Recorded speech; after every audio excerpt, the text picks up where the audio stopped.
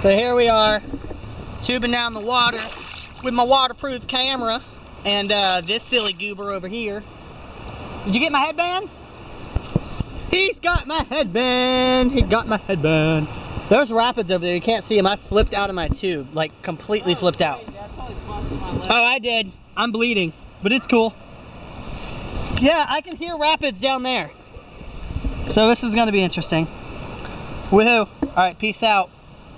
You have anything to say? I got a hole. I'm zooming in so we can see you. All right.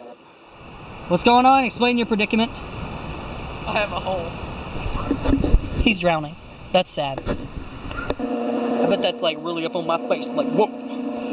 All right. And the sun's has set, as you can see.